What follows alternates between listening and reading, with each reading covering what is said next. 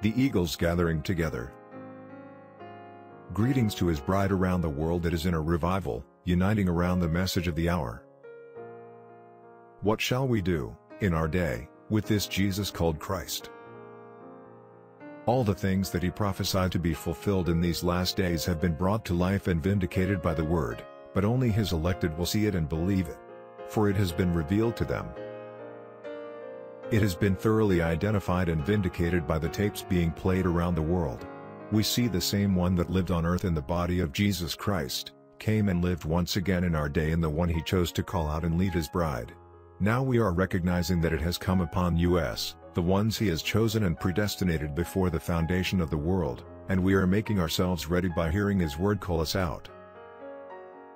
How important is it to hear these tapes in our homes, in our cars, and in our churches? These tapes, the very voice of God to the world, is the voice that will introduce us, his bride, to the bridegroom and say Behold the Lamb of God.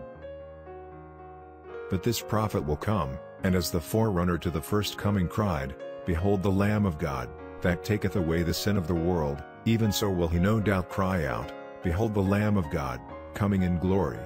He will do this, for even as John was the messenger of truth to the elect, so is this one the last messenger to the elect and word-born bride. We are that word-born bride. It is uniting time and we are being called by that voice that he ordained to lead his bride. The dynamics has come and is refilling us with his Holy Spirit, and it will take us off the earth, into glory, in the rapture. The time has come, the wheat is ready for the full August sun. It would have killed it back then, it wasn't ready, but today the wheat is stronger, it is more advanced. It's ready to take the full sun, the full revelation, to recognize who we are. Now is the time. Now is the season.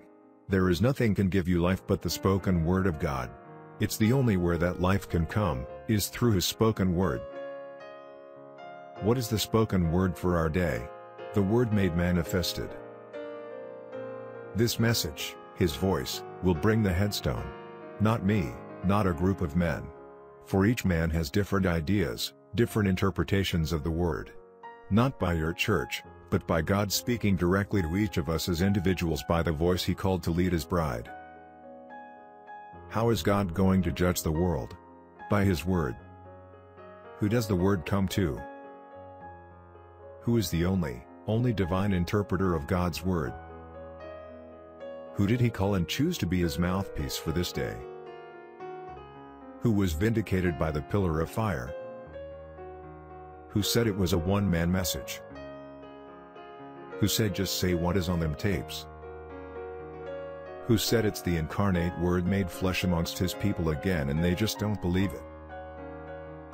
God will judge the world by his word, which is the message of the hour that has been revealed in this day and spoken through his prophet, and recorded on tape for his bride to hear.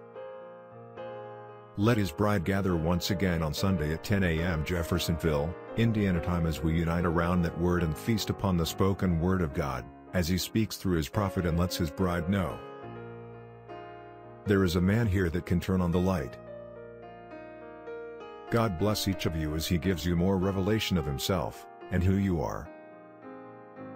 Brother Joseph Branham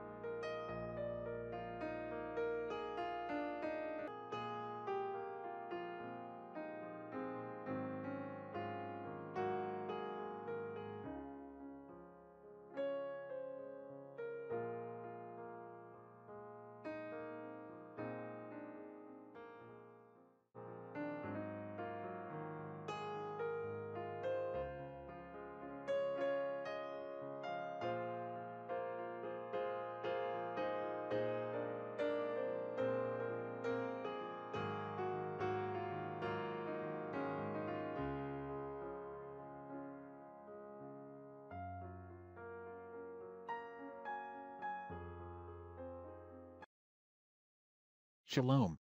If this video was a blessing for your life, like, share and subscribe to our YouTube channel. God keep you dear brother and sister.